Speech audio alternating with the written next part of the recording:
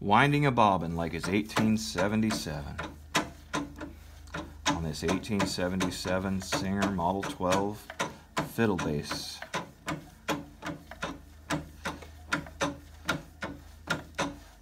As you see, it's all hand guided, trying to keep it all even.